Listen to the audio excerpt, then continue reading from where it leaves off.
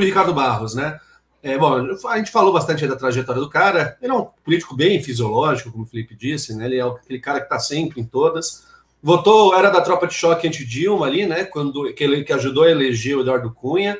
É, fez parte do governo Temer, naquela costura do Temer com todo o centrão para conseguir se manter no poder, né? O Temer tinha índices de aprovação baixíssimos e nunca correu nenhum risco de impeachment, né?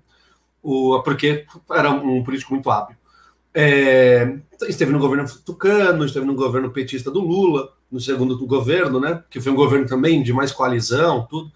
O, e agora ele é indicado aí como lobista, basicamente, vamos colocar nesses termos, do, é, da compra da Covaxin, a vacina indiana, que não foi aprovada pela Anvisa ainda, né? E os governistas usavam muito isso na CPI para falar da demora do Bolsonaro na compra das vacinas, que ele estava sempre esperando a aprovação da Anvisa. É, que fala, como é que ele vai comprar a vacina da Pfizer se ela não for aprovada pela Anvisa, não sei o quê? E todos, e, e aí a oposição falava: olha, não é assim, não precisa guardar. Sim. Não, e com, detalhe, e com detalhe que em contrato a, a própria Pfizer se comprometia a, a devolver, devolver, o dinheiro, o dinheiro se eventualmente tivesse uma reprovação da vacina dela. Exato. E assim, né? Quando, quando é uma, uma, Se fosse a farmacêutica do seu Luiz ali da esquina, tudo, fazendo uma vacina. Mas é a Pfizer, né? É a é Pfizer, que o Bolsonaro conhece bem. É, uma das maiores empresas do mundo. Aqui, aqui no nosso bairro, hein, Felipe? É, é aqui da, pra, na Chácara Santo Antônio. Já fiquei ali procurando é. para ver se tinha alguma azulzinha caída no chão, não achei nada. É um prédio bonito.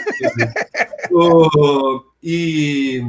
Pô, a Pfizer agora não vai ser mais lembrada como a, como a farmacêutica é, a Pfizer, do Viagra. A Pfizer, vai, a Pfizer vai virar tipo a Itaipava, vai a da, Agora vai ser a da vacina. É, aquela, aquela farmacêutica. Não é mais do Viagra, né? Não é mais o, a, a, a Pfizer vai ser lembrada pelos bolsonaristas e pela turma da direita, né? Como a Oi, a telefonia lembrada, a Itaipava, né? Eu tenho Oi e bebo Itaipava, que curioso. Que corre sério risco de virar o Dirceu, que o Dirceu foi no mensalão de. Tem que apresentar ele para o Ricardo Barros. Um abraço para o Carlinhos aí de Rio Preto. O... Eu acho que ele corre o risco de ser o José Dirceu. Tá me parecendo bastante mensalão, né? O. O, o, qual é o nome do, do deputado que prestou o depoimento ontem? Os irmãos? É Molina? Não. É... Os irmãos deputados que prestaram o, depoimento. O Miranda, Luiz. É, Miranda. É, Miranda. Ricardo, é, Luiz Ricardo. O Miranda, o Miranda pode estar fazendo às vezes de Roberto Jefferson e o, o Ricardo Barros às vezes de José Dirceu, né? Dirceu era ministro da Casa Civil do Lula, foi acus... É, se queimou, né? Se jogou aos lobos ali para estancar o sangramento do mensalão é, dentro do governo. Foi caçado, preso depois. E o Ricardo Barros acho que vai, vai virar vai virar esse boi de piranha aí do governo. Eles vão dar a cabeça do Ricardo Barros, que não custa nada para o governo federal também. O Bolsonaro não tem fidelidade com absolutamente ninguém, sem ser com ele mesmo. Acho que nem com os filhos ele demonstra tanta tanta fidelidade. Pelo contrário, o Flávio, quando estava sendo investigado, aí o Bolsonaro isolou, fingi, tirava foto com todos os filhos, menos com o Flávio. Né? Então dá para ver que ele não é. Para ele não custa nada romper alianças. Enfim, ele é um homem que coleciona quebras de, de alianças políticas aí. É, eu acho que é uma munição ótima para a CPI, né? A CPI acho que agora vai para esse caminho. Acho que a CPI achou aí o, o, o foco dela é o Pedro Collor e o PC Farias, é verdade. Esses políticos que chegam de uma vez aí do nada na presidência da República não costumam ser muito fiéis e nem alimentar muita confiança dos seus aliados, né? Que o irmão do Collor trair ele é porque o Collor deve ser uma pessoa incrível de se conviver. O... Mas, enfim, continuando. É, eu acho que aí vai ser esse o caminho agora da CPI. Não vai, eles não vão mais atrás de gabinete paralelo, Acho que eles não vão mais atrás de demora na compra das vacinas. Acho que a CPI agora achou o caminho dela.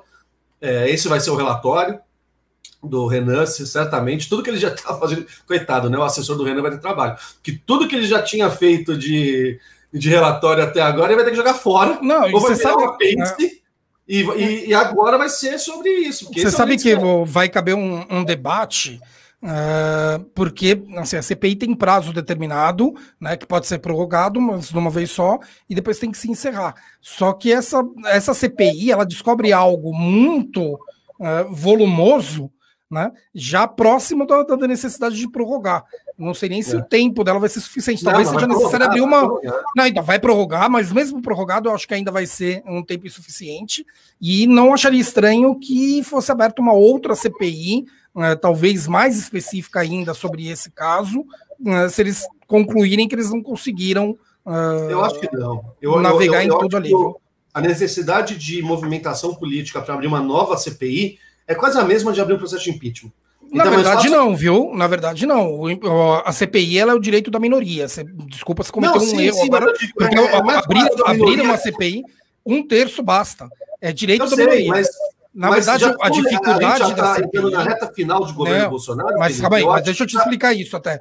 A dificuldade política da CPI não está na abertura, está no comando. Porque normalmente o que acontece? Você normalmente governos têm maioria nas casas legislativas, a minoria ela pede uh, pela CPI porque basta um terço, só que na hora que é montada a CPI, a, a comissão ela deve ter a mesma proporção que as cadeiras da casa, o que faz com que o governo tenha normalmente a maioria dentro das CPIs. Né? Tanto que essa CPI, se fosse na Câmara, ela seria mais problemática do que no, no Senado, porque o Senado, por ser voto majoritário e não proporcional, você tem uma, uma, um reflexo diferente dentro da casa. Né?